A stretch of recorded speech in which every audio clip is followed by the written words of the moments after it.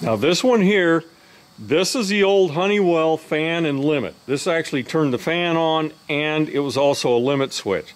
Now I've done a couple of videos on how to set this thing and how it reacts and stuff. So I'm not going to get that get into that here. I will reference those other videos.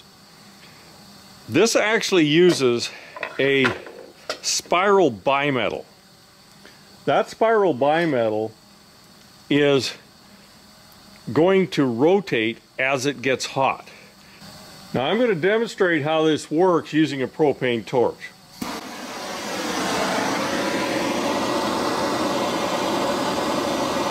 Now you can see it rotate very quickly. Rotate It. Also going to show you from the dial side how it works.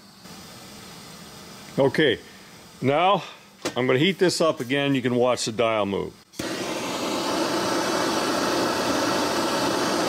That's really all it does.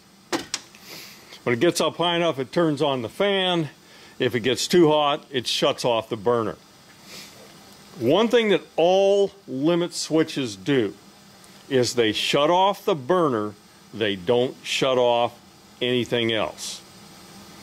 If the fan is running, they want the fan to continue running. Uh, they oftentimes have the inducer running too.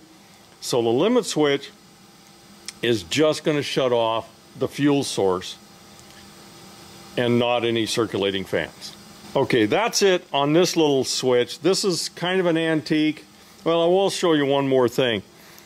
Uh, this has a manual and auto switch. If you push it in, it's manual. That means the fan runs all the time. If you pull it out, it allows it to operate with the heat of the furnace.